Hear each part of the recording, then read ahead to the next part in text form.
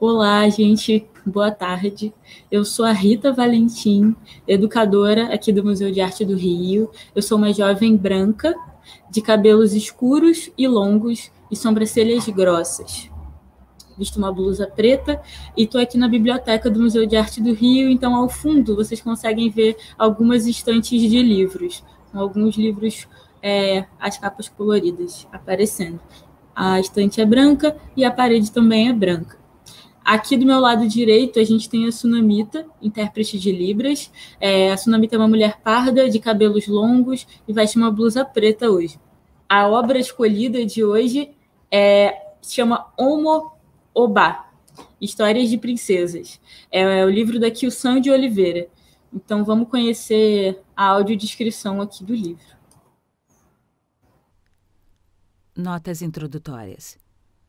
O ilustrador Josias Marinho utilizou como técnicas colagem, impressão, nanquim com bico de pena, grafite e para coloração de oduduá, extrato de nogueira. Capa de livro. Fundo cor de vinho. No topo, em letras amarelas, Kiusan de Oliveira. Omo Obá, Histórias de Princesas. Logo abaixo à direita, Ilustrações de Josias Marinho, da cabeça ao busto. À esquerda, quatro princesas de pele preta: Oxum, Adesha Logá, Iemanjá e Olocum. À direita, Oiá, também de pele preta. E abaixo, entre elas, Oduduá, de pele na cor marrom terroso. Oxum tem os cabelos crespos, pretos e volumosos.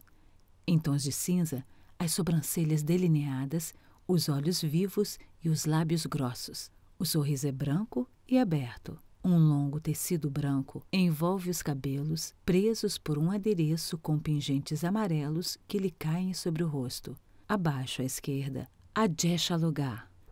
Tem os cabelos trançados, com miçangas vermelhas rente à testa e do meio para trás.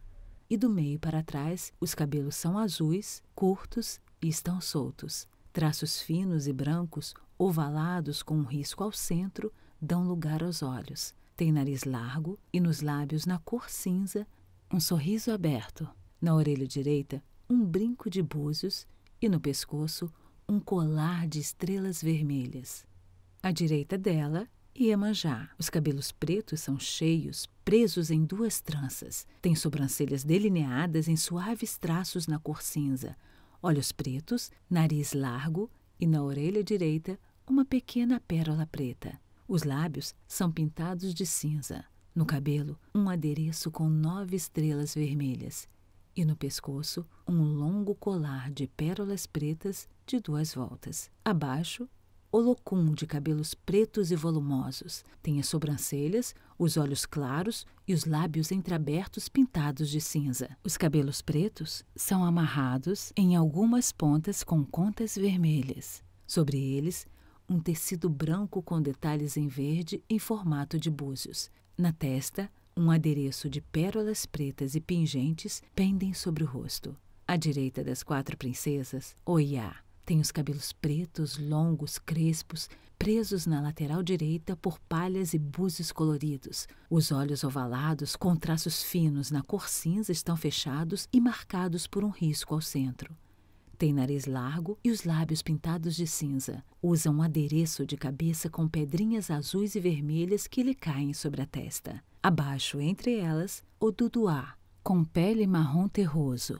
Os cabelos de dread estão presos a um turbante branco com detalhes em vermelho. As sobrancelhas são escuras e levemente caídas, e os olhos fechados, traçados com um risco fino ao centro. Agora que a gente conheceu né, a, a descrição da obra, queria falar um pouquinho mais sobre, sobre o conteúdo. Né? É, primeiro, é, esse livro da Masa Edições, de 2009, ele recebeu o selo de altamente recomendável da Fundação Nacional do Livro Infantil e Juvenil em 2010 e foi selecionado pelo Programa Nacional Biblioteca na Escola em 2011, além dele ter recebido é, o selo, a recomendação do MEC. Então, esse livro ainda é usado em algumas escolas. É, sobre o conteúdo do livro, né, a própria Kyu-san descreve que esse livro traz contos urbanos e aí uma coisa muito poética que ela fala é princesas que mais tarde se tornarão rainhas. E aí a gente já dá para ter uma, um pouco da perspectiva do livro, né? Essa ideia de princesas, mas que se tornaram rainhas, e que se tornaram rainhas pelo próprio destino delas. Então a gente tem um livro de princesas que não, onde os príncipes não são tão importantes assim, pelo menos não são tão importantes para para chegada ao, ao status de rainha. Essas princesas são Oxum, Oiá, Iemanjá, Olokun, Ajaxalugá e Odudua. E a partir é, desses contos, a Kyusan trabalha a ludicidade né, com um reconto desses contos tradicionais. É, ela apresenta uma diversidade, é, várias maneiras de ser e também de ser mulher. É, são várias personalidades diferentes e vários caminhos diferentes. Não, elas não são só diferentes pela aparência, como a gente consegue ver aqui. Cada uma no livro tem um conto, apesar de que algumas aparecem é, nas histórias uma da outra. A gente tem duas irmãs, então elas acabam se encontrando. Mas uma coisa interessante é justamente a gente entender um pouco da personalidade de cada uma dessas meninas que mais tarde se tornaram rainhas. É, e outra coisa muito importante sobre o livro, né, além da, das várias personalidades, das várias aparências, das várias alguns tons de pele, cabelos, maneiras de prender esses cabelos, é, isso tudo a gente consegue acessar justamente pelas ilustrações do Josias Marinho. É, eu acho que é importante para a gente frisar que os dois, é, tanto aqui o Sam, autora do livro, quanto o Josias, é, para além das funções que, que eles exerceram nesse livro, né, de, de autora e ilustrador, ambos são professores, educadores e se defendem como tal. E a sua produção está sempre voltada é, para um processo educativo, é, especialmente antirracista eu acho que só o fato de um livro produzido por dois educadores já traz um outro, um outro olhar para esse livro. Então, agora focando um pouco mais na Kyu-san, a autora, é, ela é bailarina, coreógrafa e alorixá, professora de educação infantil, foi professora de educação infantil de todos os segmentos até o nível superior, atuou na formação de professores e hoje em dia é professora da UFES, Federal do Espírito Santo. Ela nasceu em Santo André, na, na região metropolitana de São Paulo, mas atualmente mora no Espírito Santo, porque ela dá aula na UFES.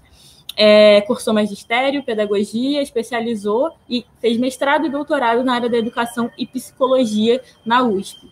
Por que, que é muito importante esse currículo da Kyusan? Porque eu acho que todos esses aspectos do currículo da Kyusan estão nesse livro. Desde ela ser bailarina, é, o movimento, as, é, ao fato dela ser coreógrafa também, é, todo o desenho que o livro traz para a gente, o livro tem movimento, e o Josias também né, ajuda muito a gente nisso, o livro tem todo um movimento que a gente consegue acompanhar na narrativa e na ilustração, e tem todo um processo didático nesse livro. Né? Tem, tem, esse livro é um livro que não é à toa que é altamente recomendável pelo MEC, ele tem um caráter educativo muito potente. É, essas histórias têm um caráter educativo muito potente. Essas histórias vêm justamente é, dessa cultura iorubana, é, que vai dar origem né, às religiões como o candomblé, a, no momento posterior à Umbanda. E essas, essas histórias, esses contos que aqui o Sam reconta, um processo muito da sala de aula, né, fazer reconto com os alunos, mas aqui o Sam reconta num mesmo contexto, né, que é esse contexto de passar a sabedoria. E a cada momento que você volta a esses pontos, é, quem conta e quem ouve é, pensa dali o, o conhecimento para o momento, né? Então, a, esse caráter educativo está tanto no fundamento desse ponto, quanto quando aqui o Sam reconta ele.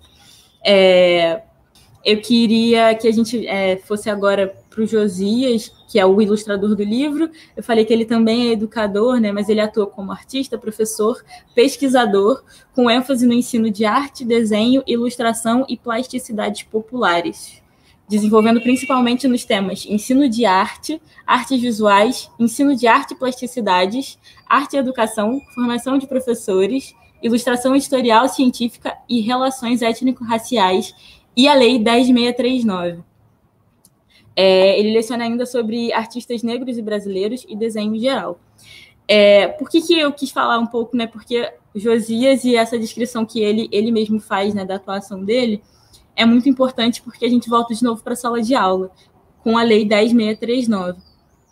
A Lei 10639, na verdade, né, principalmente educadores, a gente gravou muito esse número de lei, mas na verdade hoje em dia ela é a Lei 11.645 de 2008, porque essa Lei 11.645 modificou a Lei 10639, adicionando ao texto da lei um, um segundo trechinho que é, essa, essa é a lei que inclui no currículo oficial da rede de ensino, e aí de todas as redes de ensino, a rede pública e a rede particular, a obrigatoriedade da temática História e Cultura Afro-Brasileira. E aí, no primeiro momento, afro-brasileira, e aí depois afro-brasileira e indígena. A gente também pode esmiuçar um pouco mais o texto da lei, que eu acho que é muito interessante, eu acho que é uma lei importantíssima para que educadores tenham por perto sempre, é, porque é uma lei que, infelizmente, a gente ainda precisa lutar para que ela seja posta em prática. E aí, geralmente, isso é. Quem luta por isso é quem está na linha de frente da educação, que é quem está na sala de aula, quem está com, com o público da educação. Nós, educadores, em, em algum momento, quando estamos recebendo grupos aqui no museu. Então, quem está de frente é que, que geralmente percebe o cumprimento ou não dessa lei e que geralmente busca e se empenha para a aplicação dela. A gente vai falar um pouco mais, principalmente sobre o desenvolvimento daqui de uma, uma epistemologia e que tem tudo a ver com o Omobá, que é a pedagogia ecoancestral.